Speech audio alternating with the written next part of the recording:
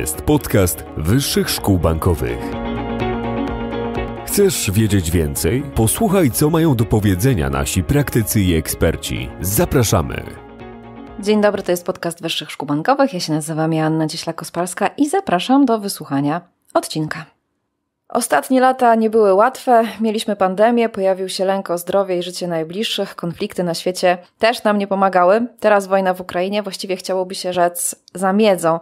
I ona spotęgowała ten stan. Kolejny rok żyjemy w stresie, nie boimy się o własne zdrowie i życie, pojawiają się emocje, nad którymi nie potrafimy też zapanować. Tracimy na tym my, tracą pracownicy, tracą firmy. Więc o tym, jak sobie radzić w sytuacji permanentnego stresu, jak funkcjonować, jak zadbać o siebie, będę dzisiaj rozmawiała z Tomaszem Gordonem. Dzień dobry, Tomku. Witajcie, witam Ciebie i witam słuchaczy. Mm, jeszcze zanim zaczniemy, kilka słów e, o moim i waszym gościu. Tomasz Gordon, certyfikowany trener biznesu, mentor, twórca i koordynator Akademii Menedżera, innowacyjnych studiów podyplomowych opartych m.in. na modelu coachingowego zarządzania w Wyższej Szkole Bankowej w Bydgoszczy, Toruniu i Warszawie. Od ponad 17 lat wspiera menedżerów HR i działy sprzedaży w rozwoju ich kompetencji. Prowadził zaawansowane projekty szkoleniowe m.in. dla Samsung Electronic Polska, Huawei Polska, PZU oraz Banku Zachodniego WBK. Od 2007 roku jest ekspertem wielopoziomowego testu kompetencji zawodowych Master Persons Analysis. Jego artykuły publikowano w magazynach Personal i Zarządzanie, Szef Sprzedaży, a Sprzedaży World Business Class Magazine, Nowa Sprzedaż i Business Woman and Life. Tomasz jest także autorem książki Nowa Psychologia Zarządzania. Na dzisiaj właśnie będziemy rozmawiali o stresie, bo też sytuacja ta, w której teraz się spotykamy, jest dosyć trudna, jest, jest skomplikowana, dla nas emocjonalnie także e, bardzo obciążająca. Od dwóch lat mamy pandemię i cały stres związany z pandemią, z naszym zdrowiem, z tym, jak jak przetrwamy, a teraz do tych stresów doszła e, kolejna sytuacja, czyli między innymi właśnie to, co się dzieje w Ukrainie, e, wojna mm, i to, e, jak to wszystko się dalej potoczy. Tomku, pierwsze pytanie, zaśmiałam się, bo pierwsze pytanie takie, które właściwie mogłoby, mógłbyś zacząć odpowiadać na to pytanie i pewnie sam już mówić do końca naszego, mhm. naszego, naszej rozmowy, ale takie pierwsze pytanie mi się na, na, nasunęło, jak żyć w takiej sytuacji? Ja też z racji tego, że nagrywamy głos, a nie nagrywamy w tym przypadku wizji, jestem taki trochę zafrapowany na poziomie mowy ciała, bo to jest temat, który nas zajmuje od tych paru lat. Ciągną nam się te miesiące, pory roku i my zauważamy, że mm, różnie nam z tymi trudnymi emocjami w tych trudnych czasach. Bez dwóch zdań, Asiu, my jesteśmy mm, jako ludzie istotami społecznymi, emocjonalnymi. Ja wiesz, często kiedy prowadzę zajęcia na uczelni bądź biznesie, kiedy włączam jakieś pytania odnośnie tego aspektu emocjonalnego, często menedżerowie, najczęściej faceci, pytają się, dlaczego ja o to pytam. Potem, kiedy zaczynają uwrażliwiać się na ten element w sobie, zaczynają zauważać to u innych, zauwa- za- zaczynają zauważać to bardziej u siebie, potrafią to nazwać, potrafią nad tym bardziej zapanować, już nie pytają mnie, dlaczego ten aspekt mocno włączam w swojej książce, artykułach, przede wszystkim warsztatach, ponieważ wiedzą, że służy to temu, żeby podnieść poziom inteligencji emocjonalnej. I myślę, że to jest klucz a propos tego wszystkiego, co się dzieje. To nie są łatwe czasy, to są bardzo trudne czasy. I, i pytanie, jak my sobie z tym radzimy, jak to wpływa to nasze radzenie na to, jak przebiega nasza kariera, jak my dbamy o siebie, o najbliższych, jak, jak my dbamy o nasze biznesy, a w tym wszystkim, jak my pomagamy innym, którzy w tym momencie są na takim zakręcie losu. Więc gdyby to pytanie, w zasadzie jego odpowiedź na Twoje pytanie ograniczyć do takiego słowa kluczowego, który myślę, że rozbierzemy potem na czynniki pierwsze, to inteligencja emocjonalna, świadomość tego, jak ważne to jest, że nie możemy sobie tej części z nas wyciąć. Nie jestem emocjonalny, to na mnie wpływa w naturalny sposób. Pytanie, jak to zrobię, żeby ochronić siebie, mój biznes, moich najbliższych? Mówisz o inteligencji emocjonalnej, ale przypuszczam, że jeżeli przeanalizujemy, czy, czy nasze życie od, od dziecka, czy w ogóle e, życie młodych ludzi, to z tą inteligencją, jak gdyby.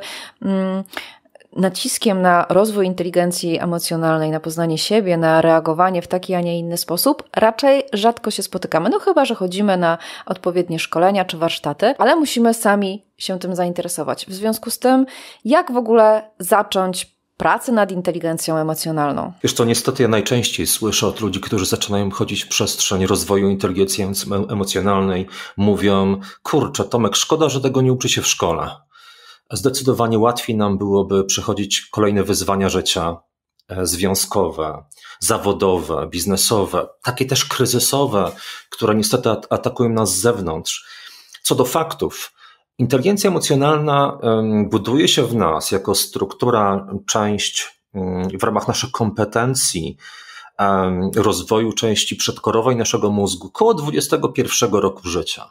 Niestety, z racji tego, że mamy ostatnio sporo deficytów, niestety pandemia w tym e, nie pomogła. Roz, roz, jeżeli chodzi o rozwój kompetencji ludzi młodych, E, to takie odseparowanie ich od kontaktu interpersonalnego między sobą, bez wsparcia, wymiany doświadczeń, tylko to przestrzeń taką bardzo pozbawioną tego aspektu osobistego, czyli wirtualną, to wszystko powoduje, że niestety my wchodzimy trochę do tego czasu próby już z takim odsłoniętym, miękkim podbrzuszem tego wszystkiego, co w nas najbardziej delikatne, niewzmocnione, co może potem powodować, że kiedy trafimy na rynek pracy, możemy być bardziej jak to, się, jak to mówi młodzież, challenge'owani wyzwaniami, ale to też może być wyzwanie dla managementu, kiedy te wyzwania emocjonalne, które wcześniej nie pojawiały się tak często, jak pojawiają się teraz, staną się taką tapetą codzienności działań liderów, tapetą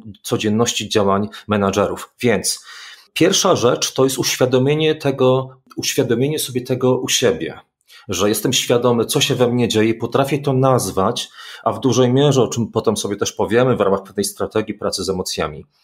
Samoświadomość, uważność i empatia to te kluczowe filary zrozumienia emocji swoich i zrozumienia emocji ludzi wokół nas. Bo jeżeli oni są nimi zaczap zaczapowani, a często my w psychologii nazywamy to odkładaniem kuponów, Media mówią o wojnie, o pandemii. Już teraz trochę mniej, ale nie, nie wiadomo jak to będzie. Miejmy nadzieję, że całkowicie się wygasi. Mówią o kolejnych sytuacjach trudnych, o migracjach. Być może mówią y, o wzroście inflacji. Miejmy nadzieję, że to też z czasem ona się zatrzyma. Ale te wszystkie niepokojące informacje mogą nas przebodźcować, a w końcu my musimy się odczepować. I pytanie, jak my to zrobimy, żeby odczepować naszych najbliższych, współpracowników, a w pierwszej kolejności siebie, żeby mieć siłę do tego, żeby e, dzień po dniu zmagać się z wyzwaniami, które są przed nami. Mówiłeś o odcinaniu kuponów. Na czym to polega? Odcinanie kuponów jest, jest mechanizmem z analizy transakcyjnej. Polega na tym, że my możemy być, e, wiesz, dający twardzieli albo e, twarde dziewczyny, które E, żadna tam pandemia, żadna wojna, żadne kryzysy nie dotykają. Idziemy po swoje. Natomiast jesteśmy istotami społecznymi, emocjonalnymi i te rzeczy trudne w nas się w naturalny sposób odkładają. I te odkładane kupony w końcu muszą być wydane i często są wydane na ulicy, kiedy jest korek. Wracamy do domu ze stresującej roboty, uderzamy niestety w dziecko bądź partnera, bądź ta agresja nie wiem, czy zauważyłaś, to było też widoczne w przestrzeni właśnie pandemicznej. Łatwiej było dojść do takiego momentu, kiedy byliśmy na granicy wybuchu niż wcześniej, ponieważ coś się z nami podziało, te, te wszystkie trudności się w nas tak zbudowały negatywnie, że ciężej nam było nad nimi zapanować na, właśnie na poziomie emocjonalnym. Więc świadomość tego, że nie jesteśmy z żelaza, że jesteśmy tylko emocjonalni, że jesteśmy tylko niedoskonałymi ludźmi, którzy mogą się bać, mogą e, współczuć i powinni po, włączać się w pomoc na tyle, ile mogą się włączyć. Ważna rzecz. W strefie wpływu, bo jeżeli będziemy się zamartwiać za wszystkie bolączki świata, a nie będziemy działali w strefie wpływu, to niestety spowodujemy wiele nieszczęścia dla siebie, takiego niespełnienia. Nie wiem, czy o tym słyszałaś, Asiu. Ostatnio zbadano menadżerów, którzy są sprawcze, mhm. są skuteczni. Szerzej odnosi się to e, do ludzi, którzy działają zawodowo. Ludzie sprawczy żyją szczęśliwie i zdrowie 10 lat dłużej niż inne grupy zawodowe. Czyli działam w strefie wpływu, na przykład pomagam ludziom dotkniętym pandemią, dotkniętym wojną bądź innymi kryzysami. Pomagam w strefie wpływu, w przestrzeni tego, co ja mogę zrobić. Angażuję się, żeby moje państwo było silne, żeby moja firma rozwijała się, gdzieś tam też produkując ten dochód, który finalnie pomoże nam też wzmocnić nasze państwo w tych niełatwych czasach. Ale kiedy jestem sprawczy, działam w strefie wpływu i zauważam rezultaty, a nie frustruję się tym, że moje myśli włączone na maksa nie powodują zmiany, zmian globalnych, które zmienić nie mogą, wówczas zwiększamy prawdopodobieństwo tego, że będziemy żyli w spokoju, spełnieniu, a nie w rozczarowaniu, które będzie trwało e, przez większość niestety naszego życia. Mhm. Przypuszczam, że wiele osób jest w takiej sytuacji, gdy widzi dookoła siebie ludzi bardzo mocno zaangażowanych w pomoc, jednocześnie wie, że we własnym zakresie aż tak bardzo pomóc nie może. Tak jak mówisz, to jest jak gdyby po, poza tym obszarem mm, sprawczości danej osoby. No i wtedy pojawiają się wyrzuty sumienia. Jak to? Mhm. Ktoś tam mhm. może zrobić to, to i tamto, rzucić pracę na kilka tygodni i pomagać. E, no a ja chodzę do pracy i, i, i co? No i mhm. wydaje mi się, że nic nie robię, prawda? I że to jest, mm, że to jest taka sytuacja e, wielu osób, które, no zresztą mówmy się, mhm. jesteśmy Przypuszczam, że w dużej mierze też w mediach społecznościowych widzimy mm, kolejne posty na Facebooku czy na LinkedInie, widzimy ludzi, którzy się angażują i często angażują się z bardzo dużym poświęceniem i trudno w takiej sytuacji nie mieć faktycznie spojrzenia, że no mógłbym czy mogłabym zrobić więcej, być może, tylko, tylko jak? Mhm. Tak, ja jestem mm, bardzo poruszony tym zrywem, który nastąpił e, po 24 lutego tego roku. E, Polacy pokazali tą chyba najpiękniejszą część e, naszego podejścia do wrażliwości pomagania innym. To jest nie, tego nie można kwestionować.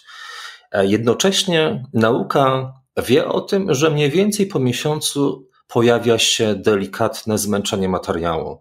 Państwo będzie musiało przejmować te działania. Już w tym wycinku oczywiście pomocy dla osób, które przyjechały do nas, bo uciekały przed wojną. I wówczas silne państwo będzie mogło im pomagać. Silne państwo to skuteczni pracownicy, przedsiębiorcy, którzy są zaangażowani, generują dochód i powodują, że państwo może pomagać. Więc na tyle, ile możemy, Warto pomagać ja też na tyle, ile mogę. Staram się pomagać osobom, które wokół mnie są dotknięte kwestią postpandemiczną bądź wojenną. Jednocześnie, finalnie, silne państwo, e, czyli my zaangażowani, możemy dać wsparcie największe ludziom, którzy będą tej, tej pomocy potrzebowali, będą do nas napływali. Więc warto zobaczyć, co ja mogę zrobić w to się maksymalnie zaangażować w ramach strefy wpływu i nawet ta moja rozwijająca się mała firma, która płaci podatki, a ja na tyle, ile mogę, pomagam, myślę, że jest dobrym podejściem, ponieważ bardzo tego nasze państwo będzie potrzebowało. Ja też przepraszam za, że mówię na takim, na takim wysokim C.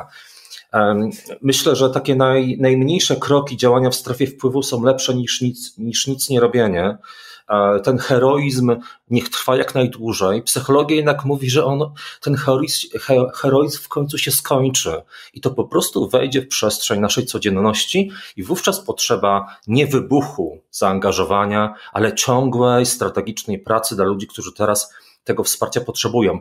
A biorąc pod uwagę to, że to nie będzie czas łatwy, nie tylko dla nich, ale również dla nas, dla osób, które chcą pomagać, więc zadbanie o nasze emocje jest bardzo istotne, żebyśmy mogli pomóc tym, którzy są dotknięci tak straszną rzeczą, jak chociażby wojna.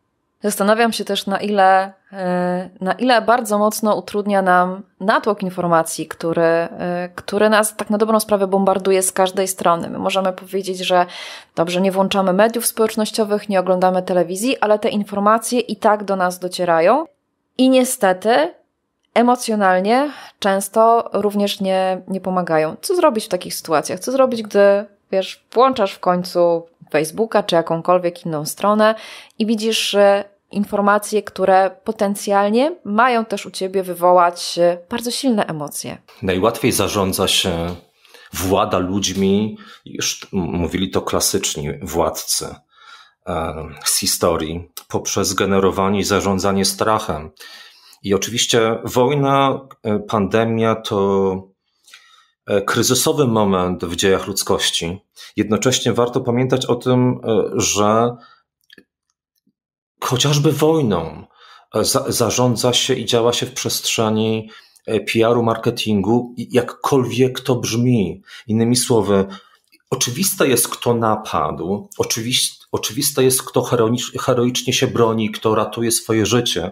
Jednocześnie pokaza, pokazywanie tego w mediach jest też elementem gry, w tym przypadku działań e, wojennych pomiędzy stronami. Ale wracając do nas, w psychologii jest zjawisko, mm, które na podstawie badań nazywamy przestrzenią trzech, dziewięciu informacji poznawczych. Jeżeli zbyt dużo informacji poznawczych do nas dociera, my jesteśmy przebodźcowani i dotknięci, i w zasadzie tracimy klarowność obrazu, który do nas dociera, a jesteśmy przebodźcowani masą informacji. Wspomniałeś o Facebooku. E, jest, też jest taki efekt w psychologii, efekt, efekt grota Alladyna. Kiedy jest zbyt dużo komunikatów, zbyt dużo wyboru, niestety powoduje to, że my nie wiemy, w co uwierzyć, co wybrać, ale sam nadmiar tej oferty powoduje, że my jesteśmy przebodźcowani. Co ja rekomenduję? Proponuję w tych trudnych czasach maksymalnie na tyle, ile musicie, potrzebujecie wyciszyć się, E, powiem o truizmach. E, wiele lat temu zlikwidowałem telewizję w przestrzeni mojego życia prywatnego. Czuję się z tym doskonale. Kiedy widzę komunikaty na Facebooku, z którego korzystam, które powodują, że nie czuję się z tym dobrze, pozwalam sobie nie obserwować tych komunikatów. Staram się docierać do sprawdzonych informacji, wywiadów z ludźmi, którzy mają tytuły naukowe i kolejną przestrzeń do tego, żeby poddać analizie pewne zjawisko. Natomiast każde przebodźcowanie i też nadmierne mm, zwrócenie się do jakiegoś bodźca, który może być dla nas w tym momencie niedobry, nie jest mądre z naszej strony. Więc my też warto, żebyśmy dbali o to, żebyśmy tak kompulsywnie nie zarzucali się tym wszystkim, co czujemy, że nie buduje w nas siły. Warto wiedzieć i warto odnosić się do prawdziwych informacji, a jednocześnie warto nie kolportować tego wszystkiego, co pewnie Państwo, mm, państwo mm, słuchacze zauważyli wielokrotnie. Wylewa się z Facebooków, a my tak trochę bezwiednie klikamy udostępnij, a potem to idzie w świat warto uważać, bo to, to może być też, na, też, też na, nasz taki nieświadomy wkład w to, że wielu ludziom będzie gorzej przez przepodźcowanie rzeczami, które są nieprawdziwe, bądź ich obraz emocjonalny jest wyolbrzymiony. Dokładnie. Ja też powiem, w jaki sposób ja w, w swojej strefie zadbałam o siebie.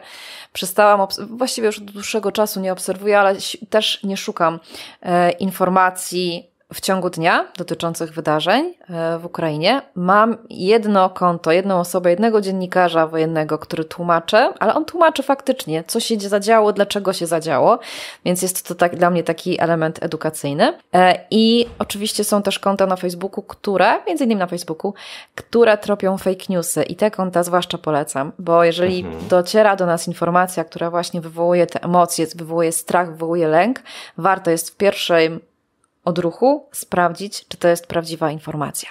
No dobrze. Jeszcze, jeżeli jeszcze jedna rzecz, Asiu, nie bójmy się odcinać. Mhm. To jest też taka, myślę, że ważna kompetencja ludzi, którzy działają skutecznie w tych niełatwych czasach. Nie bójmy się odcinać niedobrych dla nas źródeł informacji, nie bójmy się odcinać niedobrych dla nas, dla nas ludzi w przestrzeni social mediowej, w przestrzeni relacji zawodowych, w przestrzeni również prywatnej, którzy nas przebodźcowują tym wszystkim, co nam odbiera energię.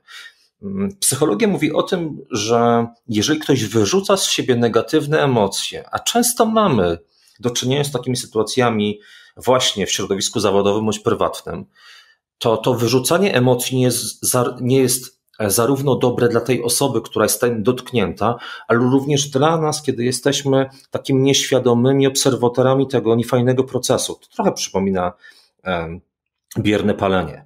Czyli jeżeli ktoś wyrzuca te emocje, jakieś czarnowictwo, takie wchodzenie w tą przestrzeń Kasandry, zauważanie tylko tych trudnych rzeczy i nas, nam wrzuca zebrane rzeczy z dnia, z tygodnia w ramach spotkań, wyrzuca swoją frustrację, to to wszystko niestety, pomimo że to wyrzuci, można pomyśleć, o, będzie pewnie efekt, efekt katarzis. Nie, on przebodźcuje źle siebie i przebodźcuje źle nas. Bardzo ważne jest coś, i tutaj od razu e, proponuję słuchaczom, żeby włączyli tą strategię dla siebie i dla innych.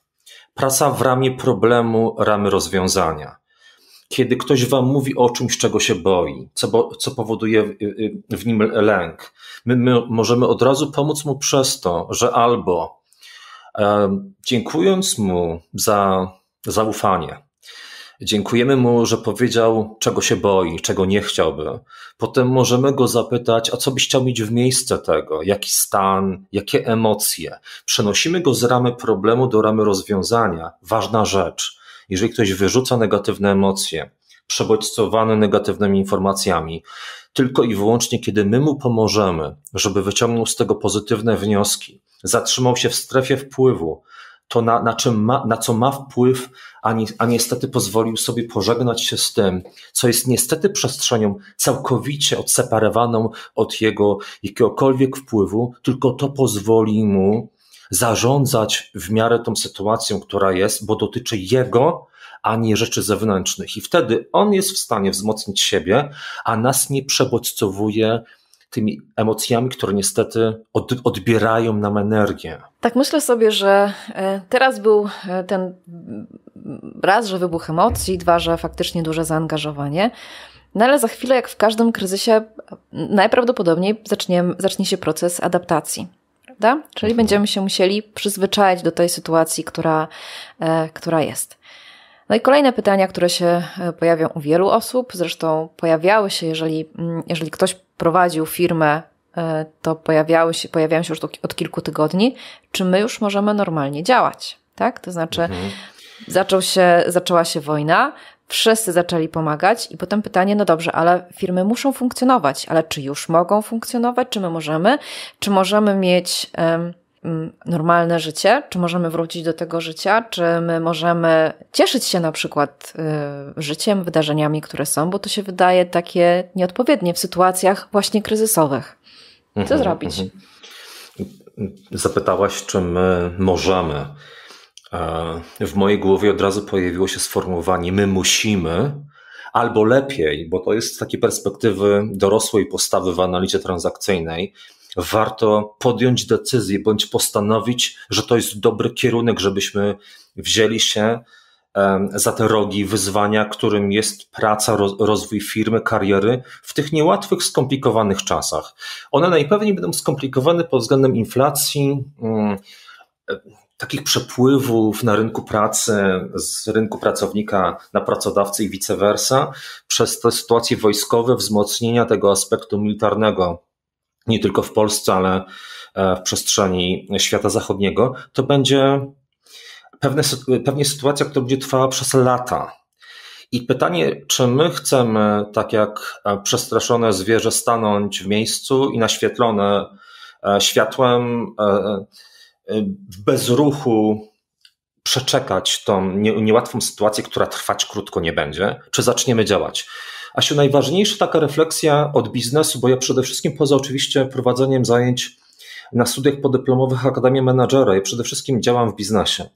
Kiedy pracuję z firmami, najbardziej skuteczne firmy, które przeszły czas kryzysu pandemiczny i teraz też odpowiadają na wyzwania kryzysu okołowojennego, to firmy, które w momencie trudnym zrobiły krótkie stop, sprawdzenie możliwości, szans, stwierdzenie, co może się, się wywrócić, y, co może się wywrócić, włączyły strategię, żeby zabezpieczyć się przed tym, co może być jakimś wąskim gardłem, czyli sytuacją kryzysową w ramach najbliższego czasu i szybko, odważnie rozpoczęły działanie.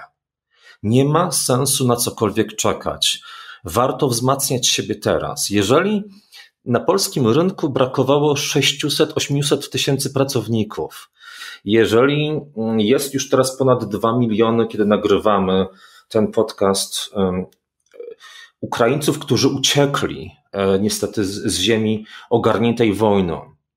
Jeżeli za moment staniemy się coraz bardziej już zapełnionym rynkiem, jeżeli chodzi o pracowników, cały czas będzie bardzo potrzeba osób kompetentnych, które potrafią na poziomie zarządczym, odpowiedzialności, odwagi wejść w te działania pracy, innowacji, rozwoju szerszego patrzenia, zarządzania własnymi emocjami, żeby pomagać przez to pracować ludziom, którzy są z jakimś lękiem postwojennym, z zagrożeniami tego wszystkiego, co się dzieje wokół nas, bądź z obniżonym poziomem inteligencji emocjonalnej, jeżeli chodzi o młode pokolenie. E, pewnie o tym słyszałaś, to, to, to się wydaje ciekawe na poziomie takiego, takie i anegdotyczne, natomiast de facto jest to tragiczne.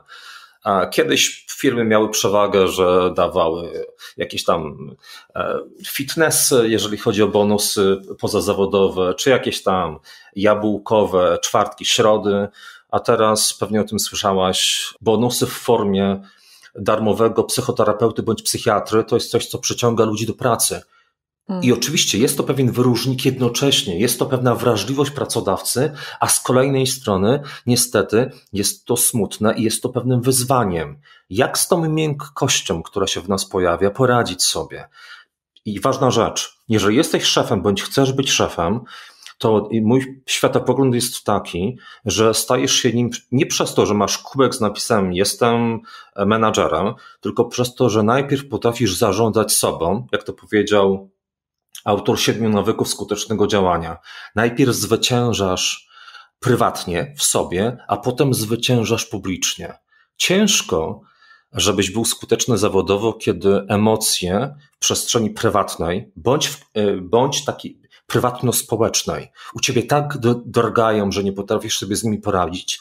Ciężko potem na poziomie szefa, mentora, wspierać innych, kiedy my sami, jak ten szewc, w dziurawych butach chodzi. Mówisz o tych e, karnetach, może do psychoterapeuty to nie, ale no, o, o opłacaniu przez, przez firmy psychoterapeuty i mówisz o tym, że lider też musi zadbać o swoje e, emocje. Psychoterapia to jest najlepsze rozwiązanie? Tak. Na szczęście, Asiu, na szczęście myślę, że e, też słuchające nas osoby są to świadome osoby, które wiedzą, że przeszłe patrzenie na psychoterapeutę, psychiatrę z kategorii o Boże wariat skończyło się. Na zachodzie jest tak, że osoba, która chce się rozwijać, wchodzi w przestrzeń terapeutyczną, coachingową, rozwoju osobistego, słuchania podcastów, czytania książek, bo wie, że mniejszość niestety chce się rozwijać i ta mniejszość przygotowuje się na wyzwania, które są przed nami. Bardzo ważna rzecz, Asiu, do słuchaczy teraz z mojej strony.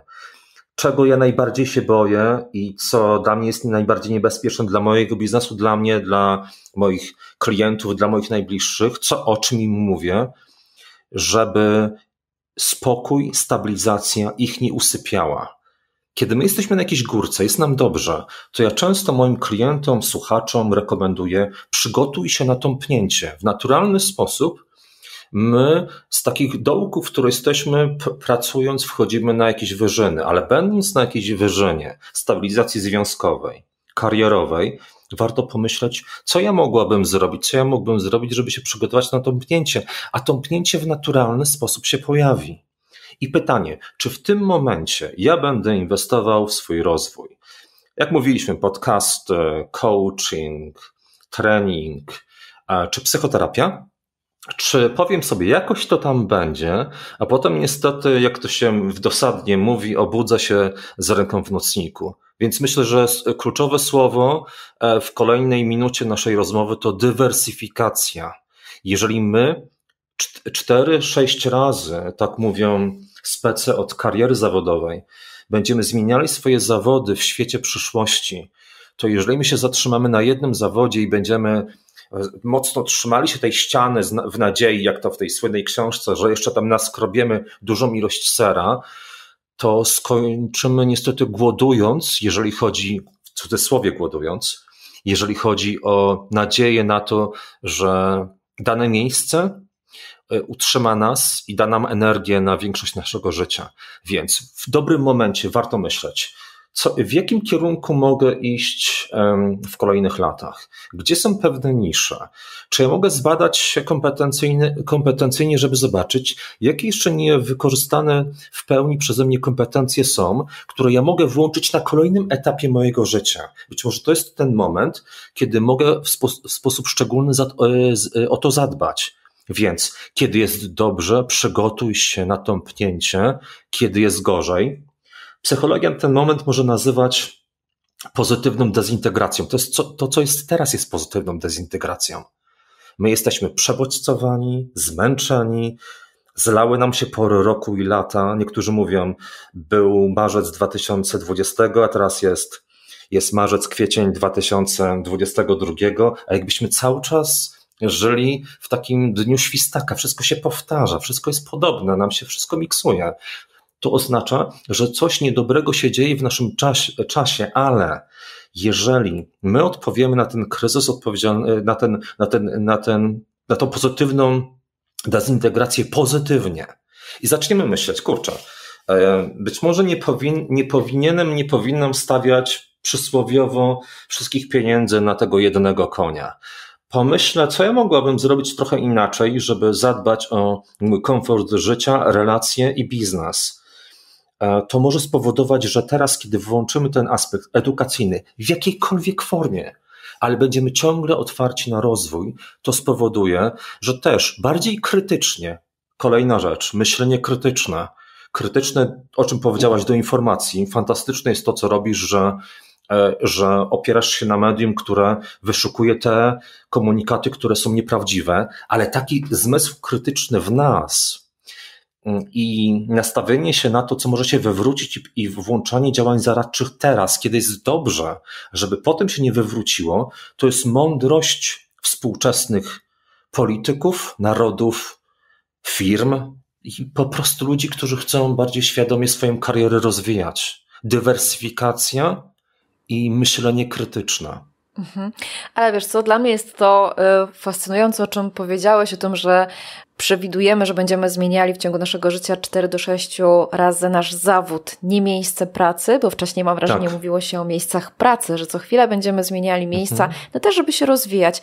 A teraz mówimy już wprost o zawodzie, czyli o tym, że nie będziemy się kurczowo trzymali tego, czego raz się wyuczyliśmy, tylko tak jak mówisz, musimy być nastawieni na, na rozwój, na uczenie się nowych rzeczy, ale to też wymaga od nas otwartej głowy i chęci. Chęci, ale też chyba zaufania sobie i tego, że mogę się przekwalifikować, mogę się nauczyć czegoś nowego, mogę spróbować w nowym miejscu, bo jeżeli tego nie zrobię, to faktycznie może się okazać za kilka lat, że mój zawód, który teraz wykonuję, w ogóle nikomu nie jest potrzebny. Z jednej strony mój zawód jest niepotrzebny, a z drugiej strony ja mogę być w stanie, który my często nazywamy kryzysem odpowiedzialności. Czyli tak naprawdę zbyt długo byłem w jednym miejscu, zbyt bezpiecznym, nie rozwijam się. Taki czas graniczny, który jest związany z tym czasem postpandemicznym, okołowojennym, może być też momentem, kiedy my zauważamy w sobie pewien talent, który w sobie odkrywamy, na którym się koncentrujemy i który rozwijamy. Psychologia pozytywna mówi o czymś, co wówczas może się włączyć, tak zwany flow, przepływ. Więc tak naprawdę biorąc pod uwagę ten czas, który jest przed nami, to może być czas reorganizacji naszego działania w przestrzeni zawodowej. Jednocześnie jest takie ważne pytanie psychologiczne, które kiedyś padło w badaniach. Zapytano osoby w takim momencie granicznym, kiedy domykali swoje życie, czego żałowali, bądź za czym tęsknią na łożu śmierci. Nikt nie wskazał, że chcieliby więcej pracować w tym życiu, które podsumowywali i że chcieliby oglądać więcej telewizji.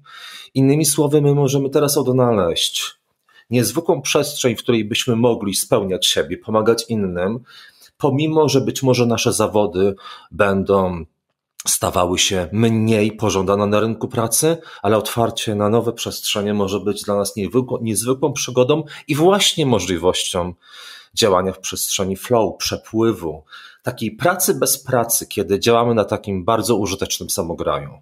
Tomek, zaczęliśmy naszą rozmowę od e, inteligencji emocjonalnej i tym i, i podobnym pytaniem chciałabym ją zakończyć. Gdybyśmy mieli mhm. spojrzeć na e, człowieka przyszłości, jakie kompetencje dotyczące inteligencji emocjonalnej będą najważniejsze? Na czym powinniśmy się skupiać, na co zwrócić uwagę? Warto rozwijać trzy najważniejsze kompetencje psychologiczne, jeżeli chodzi o inteligencję emocjonalną. Pierwsza z nich to uważność i empatia. Co jest ciekawe, o czym być może wcześniej między wierszami też wspomnieliśmy, ludzie cenią szczególnie osoby, które pomagają nam w dotarciu do pewnych celów. Czyli my uważni na potrzeby innych, my uważni na odczucia w nas, to osoby bardziej skuteczne do zarządzania własnymi emocjami, ale również do zauważania ważnych emocji i dążności ludzi wokół nas. To jest pierwszy element. Empatia i uważność. Drugi element to zarządzanie emocjami. W momencie, kiedy mamy te trudy, które nas dopadają, postpandemiczne, okołowojenne, e, inflacja, mm, specyfika, e, specyfika rynku pracy, Umiejętność zarządzania emocjami może spowodować, że będziemy bardziej efektywnie działali w przestrzeni zawodowej, ale również nie przenosili tego w przestrzeń prywatną. My bardzo szukamy teraz ludzi, którzy potrafią stabilnie wchodzić w trudne wyzwania zawodowe, żeby na poziomie emocji zarządzać efektywnie w sobie nimi, ale żeby również inspirować tym innych współpracowników czy pracowników. I trzeci aspekt, bardzo istotny, to cały czas praca na rzecz stabilnej samooceny, która powoduje, że niezależnie jak jest trudno, jak się potykamy, jak nasze rynki się załamują, pewne nisze, w których byliśmy, wysychają, a my musimy z odwagą wchodzić w nowe przestrzenie, dywersyfikując podejście do biznesu czy do kariery zawodowej, cały czas wierzymy w to, że pomimo trudności możemy z odwagą wejść w tą eksplorację, a zdobyć odpowiednią wiedzę, z odwagą wejść w doświadczanie, żeby uzyskać jakąś konkretną przewagę, pomimo że inni, niestety dotyczy to większości, boi się w tych czasach niepewnych zrobić zdecydowany krok do przodu. Tomek, e, mnóstwo ważnych informacji z Twojej strony dzisiaj, e, dzisiaj padło. Mnóstwo mm, informacji, przy których powinniśmy się zatrzymać, przemyśleć, e, przeanalizować, przeanalizować też pod kątem naszego życia. Bardzo Ci dziękuję za tę dzisiejszą rozmowę. Asiu, bardzo dziękuję za zaproszenie.